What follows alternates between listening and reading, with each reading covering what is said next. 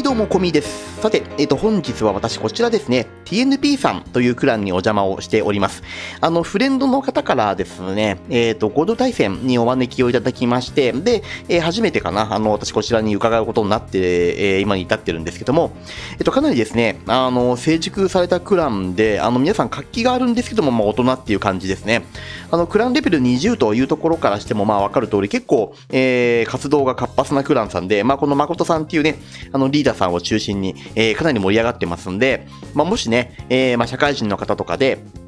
とまあ、大人のクランでも活気のあるところ行きたいなっていう方がいらっしゃったら、まあ、ぜひね、こう候補に、えー、して、えー、門を叩いてもらったら、まあ、いいんじゃないかなというふうに思うところです。はい。でですね、えー、本日の動画なんですけども、えー、テーマはですね、突撃艦エイティですね。これちょっと見ていきたいというふうに思います。まあ、あの、界隈の YouTuber の方が結構上げている内容ではあるんですけども、まあですね、私なりにその有用性だったり、えー、使いどころ間違えるとこうなっちゃうよってとこだったり、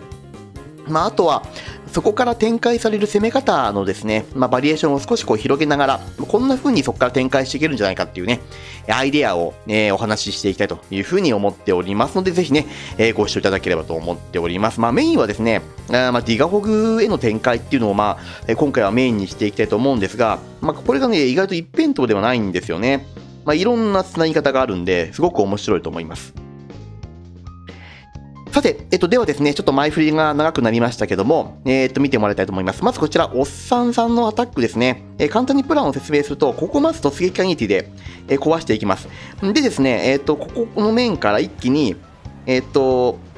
マイナー、えっと、うん、ディガーですね。と、あとは、えっと、ホグライダー。これをですね、ガンと流し込んでいくと、まあ、いうような格好のアタックになっておりますね。で、えっと、もうすでにですね、今、突撃艦イエティで、ね、ギガテスラをこう、あギガインフェルノかな、こうガツンと破壊しながら、まあ、その周辺もですね、一緒にこう削っていっていますよね。で、えっと、そこからですね、食い火を展開していって、えー、こちら側、うんと、3時、2時面っていうのをこう削っていく。で、こちらの、えーと、反対側ですね、えー、6時から、えー、9時目にかけてはバーバリアンキングを使って削っていくという格好で残ったこの面を一気に、えー、さっき言ったようにマイナー、えーと、ディガーとあとはホグですね。こいつらで書き上げていくと、まあ、いうような格好になります。でですね、まあ、この突撃艦イエティを使う場合っていうのは、まあ、よくやるパターンっていうのは、うん、やっぱりこのギガインフェルノを落とすっていうところですかね。これを落とすことができてしまうっていうのが、まあ、このえーと、攻め方の一番の利点、まあ、じゃないかなと個人的には、えー、思ってます。あのイエティって、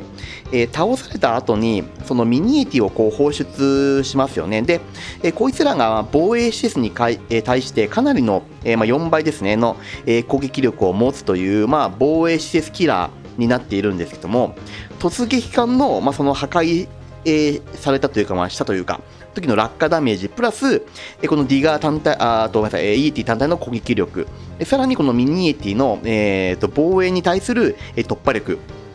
まあ、この3つっていうのを、え、使って、まあ、一番のね、え、守りの要である、このギガインフェルノっていうのを追っていくっていうパターンが、まあ、一番多いんじゃないかなというふうに思います。で、イエティを使うと、まあ、ちょっとですね、この攻め見終わってからもう一回、えっ、ー、と、その最初の部分だけ見てほしいんですが、イエティ使うとですね、あのー、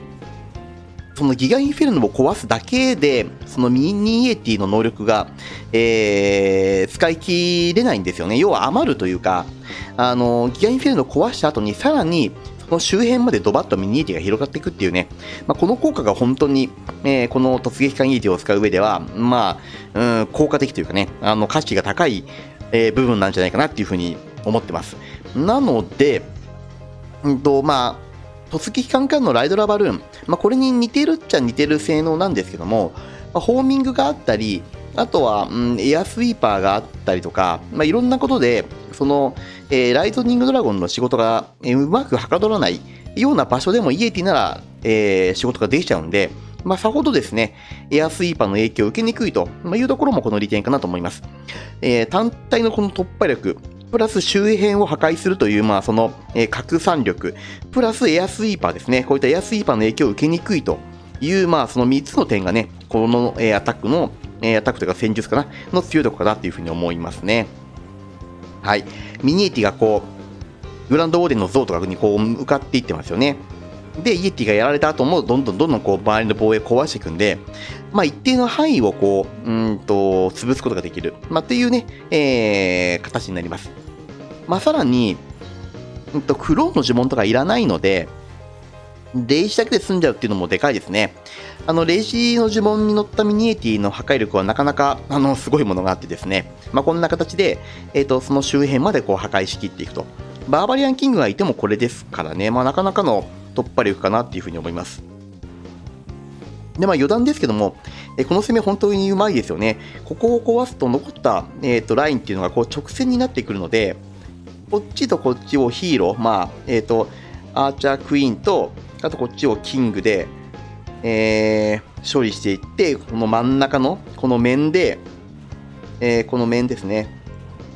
を、え、ディガーとホグライダーで潰していくというね、まあ、この使い方。まあ、すごい相手の配置をよく見てるなというところと、あとここ、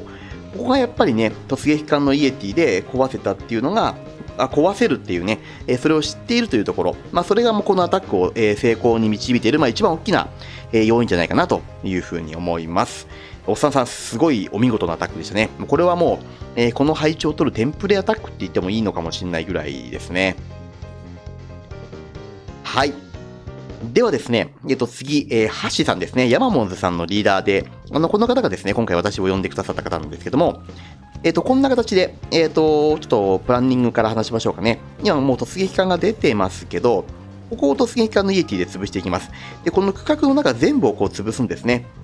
で、えー、まあ、メインはインフェルノを潰したかったっていうところになります。まあ、要するに、えー、クイヒがインフェルノからこう横打ちされるヒーラーがですね、これを防ぐためですね。で、えー、この食い火をですね、えーと、しっかりここ潰してあるので、中にこの食い火こう歩かせていきます。で、この辺の施設をこう削っていきながら、え上から今、えーと、バーバリアンキング出てきますね。この辺っていうのをこれもキングで削って、で、さらにここですね。ここを、えーと、ディガホクで持っていくと。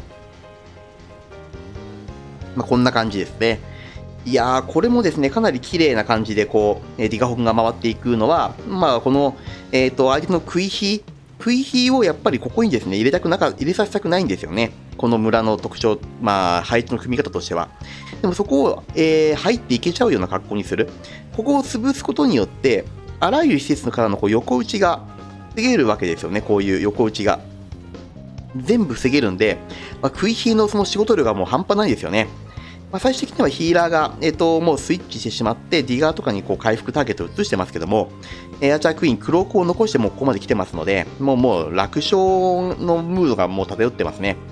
まあ、非常にあのうまいアタックかなと思いました。これも突撃艦イエティのなせる技ですね。あの呪文をしっかりと、えー、クイヒーパートやディガーパートに温存するために、あえてこの部分っていうのは、えっ、ー、と、イエティとえっ、と、レイジ。レイジってこうでしたっけ？えっ、と、レイジってこうかな、確か。うん、この2つでね、こう潰していくだけですね。これがパン、本当にまあ、うん、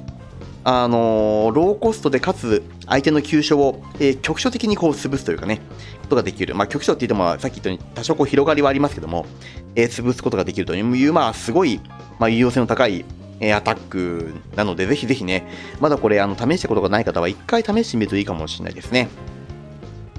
で、えっと、下見なんですけども、えっと、これやる場合のですね、えっと、援軍、まあ、45コストですよね。えー、コストありますけども、これっていうのは、えっと、イエティをまず、イエティかける2ですね。あとは、えっと、これ、あ、もう出てますね、これ。ここです、ここ。これ。これを覚えておいてください。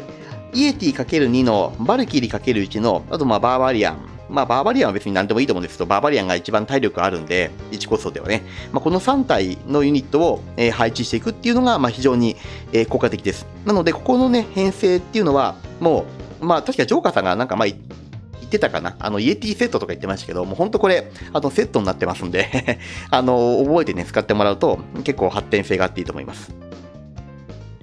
はい。ではですね、えっと、最後、えこんな風になっちゃうケースもあるよっていうところをちょっとお話ししておきたいというふうに思います。まあ、これも結果的には前回まで言っていて、まあ、非常にうまいアタックです。あの、ディガーラッシュになってくるんですけども、ここですね、突撃艦のイエティを使っていくんですけども、なんとなんと思ったほど壊せません。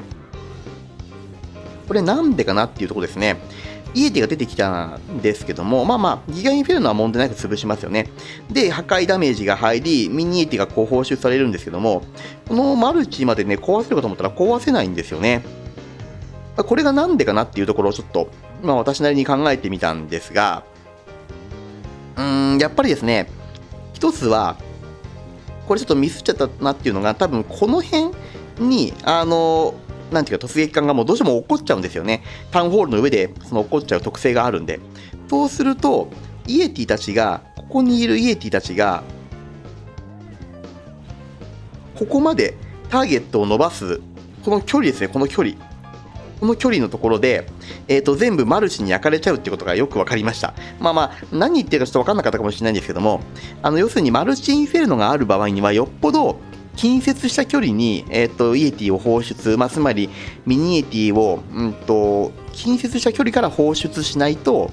えーと、マルチインフェルノの、ね、火力とか、ないしはこの辺の、えー、投石機とかがね、こう狙ってきてましたけど、この辺に絡め取られて、あのミニエティたちがあのインフェルノに到達する前にやられちゃうと、まあ、いうことですね。ここは本当よく注意した方が、まあ、いいポイントかなというふうに思います。せっかくなんで、おそらくこのお好み焼きさんは、このインフェルノまでうんと破壊を狙ってたはずだと思うんですけども、ちょっとね、それが思い通りいかなかったと、まいうところで、まあ、今回のプラン上、それが失敗しても、まあ、なんとかリカバリーできるプランだったからよかったんですけど、これ一歩間違えると、あのー、食い火のヒーラーが焼かれるとか、まあ、いろんなね、えっ、ー、と、危ういケースに発展しかねませんのでね、ぜひぜひそこは気をつけて使ってもらうといいかなと思います。まあ、それにしても、ギガインフェルノをこうね、突撃艦プラスイエティ、まあ、レイジも使って潰せる。まあ、それをやったことによって、なんていうかな、今回のアタックで言えば、まあ、この辺ですよね。全部これを、えーと、食い火も、えー、相まってこう削っていく。で、こっちを全部、えー、キングで潰していって、で、この面から、えー、っと、ディガホグですよね。まあ、こんな風な使い方をしてると思うんですけども、まあ、やっぱりここを削れたっていうのが一番大きいですね。これがしっかりこう削れてくると、あのー、相手の主要施設である、まあ、ギガインフェルノっていうのが、えー、ディガーとかホグライダーを横打ちしなくなる。だから、まあ、トームを使わされずに済むんですよね。あの、トームをしっかりとディガーとホグライダーがこの中心、ここに入った段階で、ここで、えー、トームかな？トームってこれいいんだっけな？トームが使える？まあ、そうなってくるからこそ、ね、先の、えー、ディガホグの伸びがこうね、えー、まあ、今回ディガだけか、まあ、ディガの伸びがこう期待できるっていう、まあ、そういうところをですね、あのー、形を作るために、まあ、序盤に、えギガインフェルノを壊しちゃうっていうのは、あの戦略上かなり、えー、その後のね、えー、主力となるユニットたちの、えー、伸びが期待できるので、ぜひぜひね、え、試してみると、あ、の、思いのほかうまくいって、えー、る、え、アタックなになるんじゃないかなというふうに思います。まあですね、あの、ちょっと、うん、そうかなと思う方は、一回ですね、あのー、フレチャディーンでギガインフェルノに、ホグライダーとかディガーをそのままぶつけてみてください。あの、2秒ぐらいで、あの、2秒3秒で全部いなくなっちゃうんで、あの、そんなですね、強力な施設をこんな簡単に壊せるんだっていう、まあ、やっぱそこですよね。今の環境、ディガホグすごい強いんで、あの、ディガホグを最大限に活かすんだったら早めにギガインフェルノを潰してしまうと。で、そこに、本来使わされるはずだったトームを、えー、温存する。っていう、まあ、この考え方ですよね。まあ、クイヒーディガホグっていうのも、まあ、そのタウンホールと、あと援軍を先に、えクイヒーパートで壊しておくっていう、まあ、そういう鉄則がありますけども、あの、そこの部分をですね、えー、もしクイヒでできないんであれば、えー、えー、と、この突撃艦 ET でやってしまう。まあ、っていうこの発想、ぜひぜひ、えー、試してみてもらえたらなというふうに思います。はい。ちょっとですね、後半、えー、喋りが長くなっちゃいましたけども、えー、以上となります。よろしければ、えー、グッドボタン、チャンネル登録、えー、そして今後もご視聴どうぞよろしくお願いいたします。では、えー、本日の動画はこちらで失礼いたします。また次の動画でお会いいたしましょう。バイバイ。